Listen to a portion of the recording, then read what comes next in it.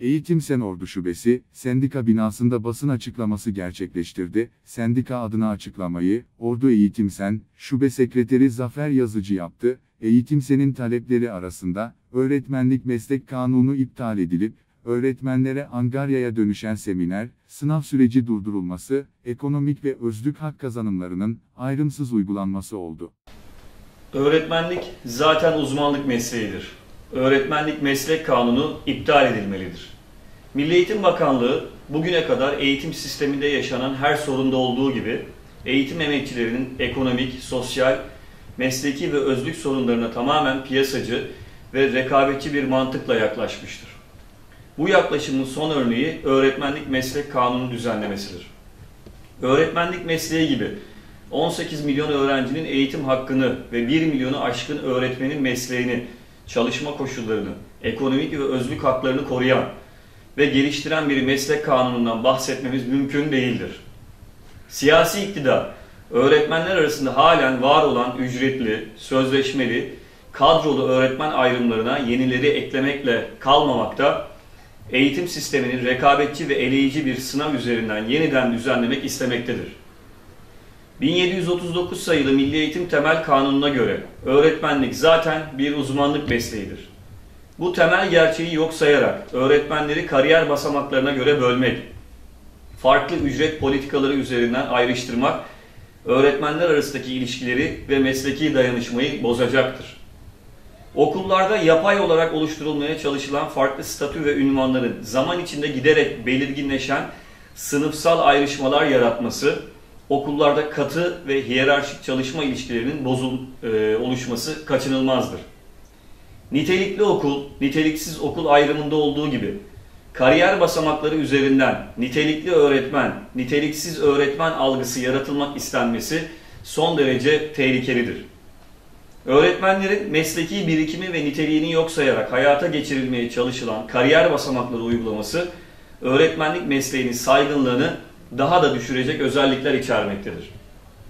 Öğretmenlik meslek kanunu ile birlikte okullarda çocuğunun sınıfına uzman ya da baş öğretmenin girmesini isteyen velilerle okul idaresi ve öğretmenler arasında gerilimler yaşanması, öğrencilerin sosyal statüsü ve öğretmenlerin kariyerine göre okullarda özel sınıflar oluşturulması yaygınlaşacaktır. Aynı işi yapan, sınıfında, branşında aynı eğitim içeriğini anlatan, benzer öğretim yöntem ve tekniklerini uygulayan ve öğrencileri benzer süreçlerle değerlendiren, öğretmenleri farklı statü ve maaş uygulaması üzerinden bölmeye ve ayrıştırmaya yol açacak böylesi bir düzenlemeyi başından itibaren kabul etmediğimizi ifade ediyoruz. Eğitimsel, emekçiler arasında ayrımlar, hiyerarşiler ve eşitsizlikler yaratması kaçınılmaz olan adaletsizlikleri ve haksızlıkları derinleştirmeyi hedefleyen öğretmenlik meslek kanununa karşı emekçiler açısından üretilebilecek en güzel yanıtın ise bir araya gelmek ve ortak mücadele yürütmek olduğunu düşünmektedir. Öğretmenleri birbiriyle yarıştıran, ayrıştıran, hiyerarşi yaratan ve maaş artışını sınav sonucuna bağlayan, eşit işe eşit ücret ilkesini yok sayan, öğretmen emeğini değersizleştiren bir eğitim yaşamını sürdürme tehlikesine karşı iş yerlerimizden başlayarak yerellerde ve merkezi düzeyde tüm eğitim sendikalarının bir araya gelerek ortak tutum belirlemesi taleplerimizin karşılık bulması açısından son derece önemlidir. Siyasi iktidar eğer bir meslek kanunu yapmakta samimi ise yapması gereken tek şey öğretmenlik mesleği açısından uluslararası düzeyde kabul gören en önemli belge olan öğretmenlerin statüsüne ilişkin tavsiye kararına uygun bir düzenleme yapmalıdır.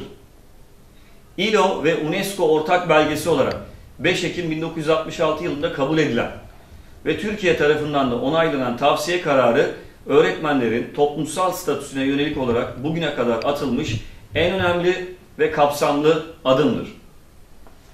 Öğretmenlerin sadece okul içinde değil, toplum içinde de yerine getirdikleri görevin taşıdığı önemi uluslararası düzeyde belgeleyen, öğretmenlerin tüm sorunlarını ele alan ve durumlarını tüm ayrıntılarıyla düzenleyen bir metindir. Bu metin dikkate alınmadan hazırlanan bir meslek kanununu kabul etmemiz mümkün değildir. Eğitim sen yıllardır sadece öğretmenlerin değil, eğitim kurumlarında çalışan tüm eğitim ve bilim emekçilerinin çalışma ve yaşam koşullarının iyileştirilmesi gerektiğini savunmaktadır. Nitelikli eğitim için öğretmenler kadar emeği olan idari ve teknik personel, yardımcı hizmetler sınıfı ve 4B statüsünde çalışan eğitim emekçilerinin hakları ve talepleri de dikkate alınmalıdır. Öğretmenler için düşünülen iyileştirmeler tüm eğitim ve bilim emekçisi arkadaşlarımızın çalışma ve yaşam koşullarının iyileştirilmesiyle birlikte ele alınmalıdır.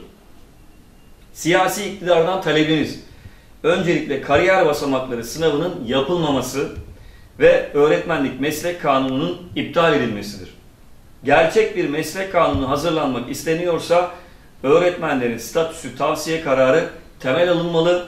Sadece öğretmenlerin değil, tüm eğitim emekçilerinin hakları ve talepleri güvence altına alınmalıdır.